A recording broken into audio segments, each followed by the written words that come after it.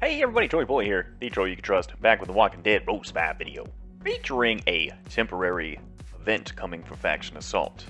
We shall call this the Winter Assault Event. Here's a Scopely post detailing what is to come, and it says, starting Tuesday, December 18th at 4 p.m. PDT, the Winter Assault Event will begin. Players will earn holiday-themed collectibles from playing Faction Assault that they can redeem in the museum for powerful rewards. We're making some big changes to the Faction Assault ticket system and their cooldown timers to allow factions and players to play Faction Assault even more throughout the event.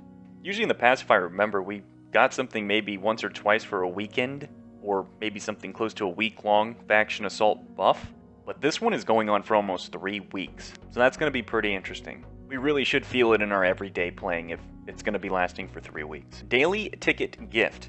Every day, all players will be gifted 500 free Faction Assault tickets. So this is pretty generous. If this is going to last, let's say, 20 days, and for easy math, we get 500 Faction Assault tickets, we will get roughly around 10,000 Faction Assault tickets per member for the event. If you have 30 active members, you're going to be looking around 300,000 Faction Assault tickets given out faction-wide for the event. A big question in my mind is, are daily cap, daily limit being raised? Removed?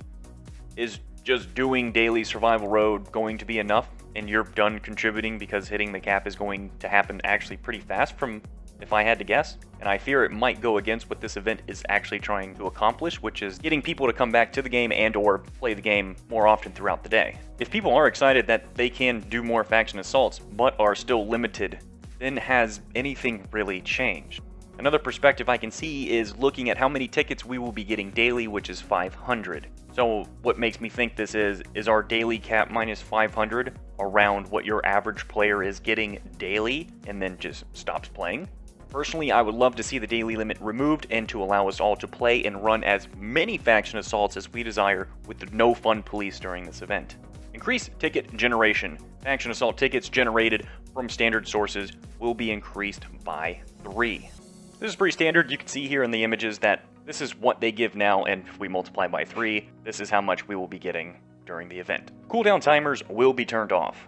Cooldown timers for all tiers of Faction Assault will be disabled for the duration of event. Yes, this means you can immediately start Faction Assault again once your faction finishes a run at any tier.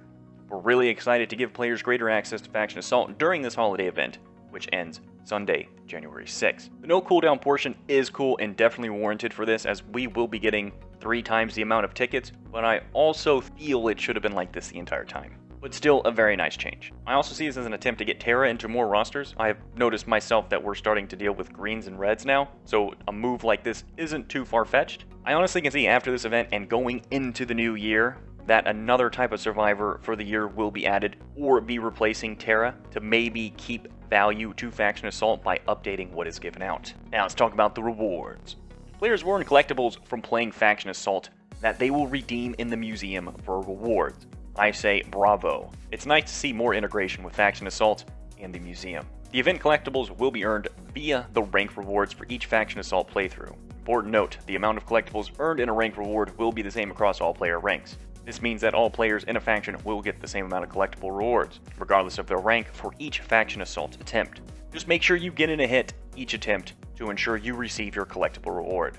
This right here is awesome to hear. People are less penalized for where they stand in the power structure of a faction in this 20 day-ish event for the event currency.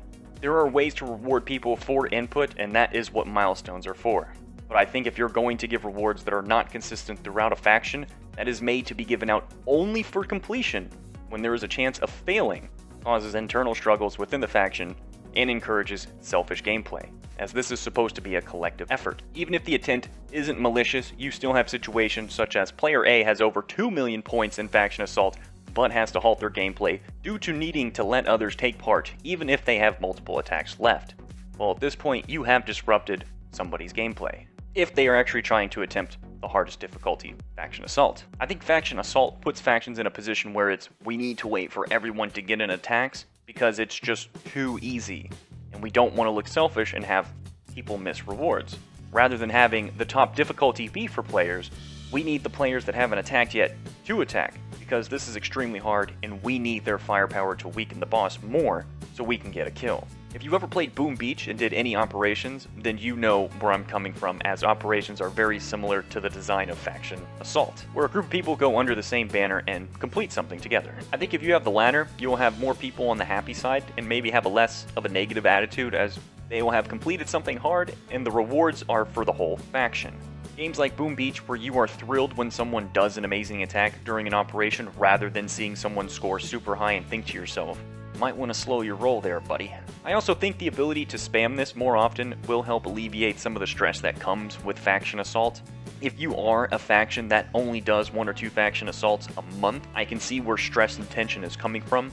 But if this was something that was to happen more occasionally, then I feel we would be heading towards a Boom Beach operation feelings, emotion, mentality that will bring a more enjoyable experience. I think I've ranted on long enough about that, so let's move on. But I think what they're doing here for this event, whether it be a one-time thing or just a task of some sort, is a step in the right direction. The amount of collectibles rewarded per attempt depends on the difficulty tier, with the higher tiers providing more collectibles.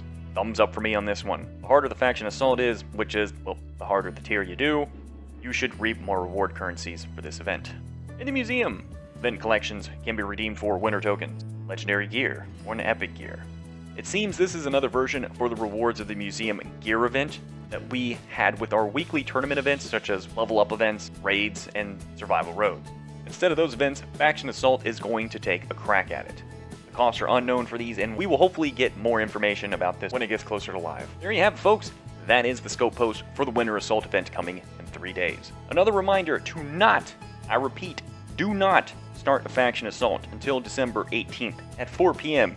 PDT, as the cooldown will not be reset when it starts, and you will have to sit there and waste days, and you're going to be kicking yourself if that is the case. Thank you all for watching. If you enjoyed the video, you laugh for anything positive, please get a nice the like, subscribe button, make sure to leave a comment down below. It's greatly appreciated. Know that I'll catch you all in the next video.